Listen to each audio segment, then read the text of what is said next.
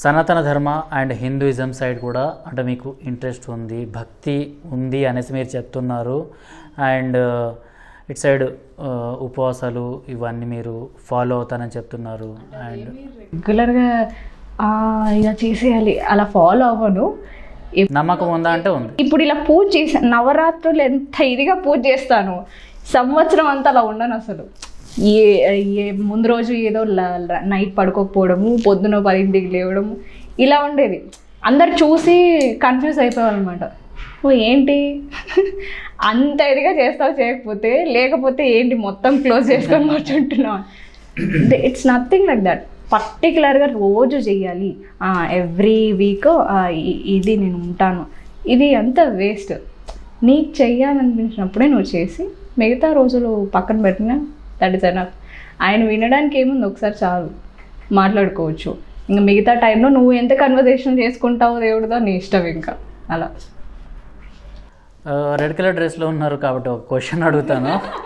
Valentine day week start అయిపోయింది. Valentine's week ఒక్కలో Valentine's. ఎందుకలా? ఏంటి ఇంకా వ్యాలంటైన్స్ చేయాలి నిబ్బా నిబ్బిలో వ్యాలంటైన్స్ డే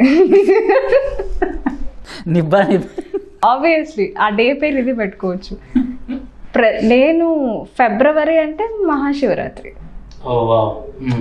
ఆ రోజు కూడా నువ్వు ఏం స్పెషల్ పూజలు చేయక్కర్లేదు. అదొక వైబ్ అంతే. వస్తుంది. They they both got mad సరే నిబ్బా నిబ్బీస్ది అనుకోండి. మీరు కూడా నిబ్బా నిబ్బీస్ లాగా మేము కూడా అలానే ఉన్నప్పుడు చాక్లెట్స్ డే అని లేకపోతే ఈ టెడ్డీ బియర్ డే అనేసి ఇలా ఏమన్నా మీకు వచ్చాయా?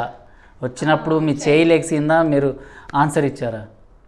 ఆన్సర్కే అయిపోయేది అక్కడ ఎండ్ అయిపోయేది. చెయ్యి లేసేది ఎప్పుడు ఇలాంటి కాన్వర్సేషన్స్లో లేవలేదండి. అంటే కామెంట్స్ చేసే ఈ ముందే క్వశ్చన్ నేను ఎందుకు అడుగుతున్నాను అంటే. మీ వెబ్ సిరీస్లో అలాంటి సీన్స్ ఉన్నాయి. సో మీరు బయట ఎలా ఉంటారు? అక్కడైతే బోల్డ్ అండ్ సీరియస్ లుక్. ఇక్కడ బయట ఎలా ఉంటారు? ఆల్మోస్ట్ సేమ్ ఎందుకంటే ఇంటర్మీడియట్లో అసలు ఈ డ్రెస్సింగ్ కూడా ఉండేది కాదు. ఇంకా నువ్వు బాబ్ కట్ చేసుకొని వెళ్ళడం ఒకటి తక్కువ అనమాట అంటే హెయిర్ కూడా ఇక్కడే వరకే ఉండేది. ఒక టీ షర్ట్ ఒక జీన్స్ వేసుకొని ఒక ఒక బబుల్ గమ్ పక్కా ఉండేది.